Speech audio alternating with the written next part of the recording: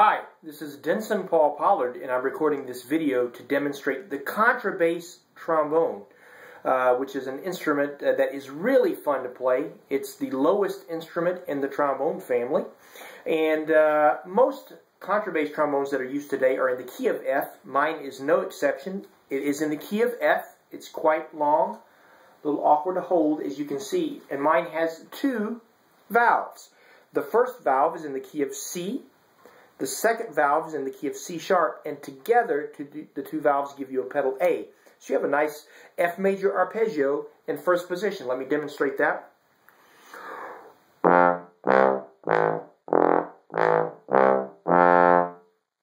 F major arpeggio in first position.